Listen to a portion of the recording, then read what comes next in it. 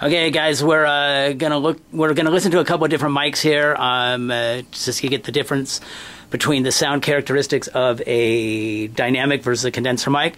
This is a industry standard uh, dynamic microphone. Um, Scott Woodward is going to speak into it now. Hello, ladies and gentlemen, welcome to Slaggers. Now it's same channel. We're not gonna we're not gonna stop the tape or anything else. We're gonna unplug it and and make a bad pop through the PA system that Bill's gonna hate us for. and now we're gonna plug in a kind of standard uh, condenser mic.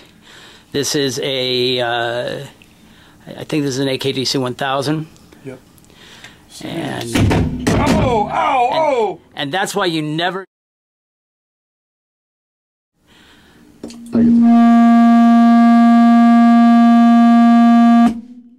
It's a lot hotter. I'm gonna need to edit that.